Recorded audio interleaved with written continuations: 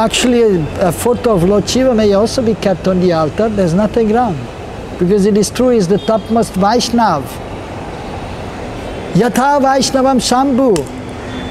And uh, he is the Acharya of one of the four Sampradaya, the Rudra Sampradaya. He's the Adi Guru there. And even our Acharyas, they have given respect to Lord Shiva.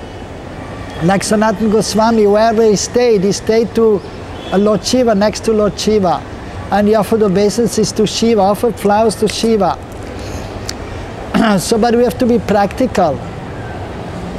And uh, so we cannot have the picture or the deity of, of uh, Shiva, Lord Brahma, and there's a whole Guru Parampara there. And there may be a hundred personalities there. We cannot have all of them. We cannot have a photo of Narada Muni also, of Vyasadeva also, Madhvacharya, Ishvara Puri, Rup, yeah, Swarup Damodar, Rai Ramananda Roy, Haridas Thakur. We should have a picture of all of them, but we don't have enough place.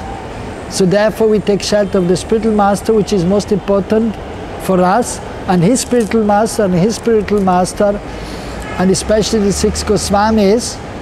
And uh, so, and then through them also we offer respect to the others also. And those who are intelligent pujaris, they will offer respect to Narada Rishi also, Narada Muni also. They will offer respect to Lord Shiva also. Shrimad Gopishwaram Vande, Shankara Karunamayam, Sarva Klesha Haram Devam, Vrindaranya Rati Pradam.